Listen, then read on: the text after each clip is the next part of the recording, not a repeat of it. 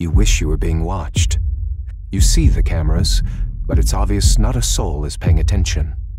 Lost in the slow car dealership sauce every time. My name is Mark Queen, the founder of SkyVision, a company that integrates artificial intelligence with video to improve dealership service and sales transactions. The title of my presentation is How the Camera is Revolutionizing the Customer Experience. Autonomous vehicles are here today, thanks to a combination of cameras and machine learning.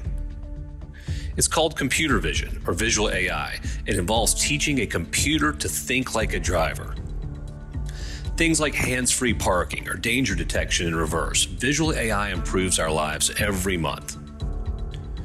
Computer vision is everywhere. There's a faster option at grocery stores, airports, hotels, even to unlock your phone. So, where's the faster option at the dealership?